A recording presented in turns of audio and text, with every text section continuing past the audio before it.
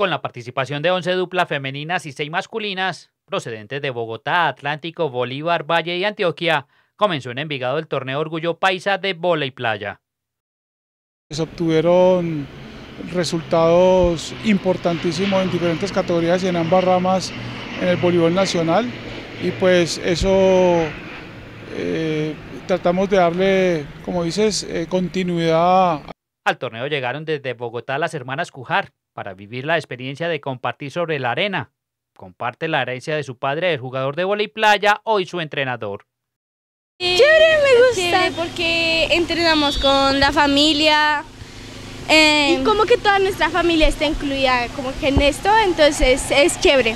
Sí, estamos apoyadas y todo. Duro, o sea, lo que hacemos es, eh, hablamos de voleibol mientras que estamos en torneos, pero ya después no, no, no hablamos más, sino hacemos otras cosas diferentes.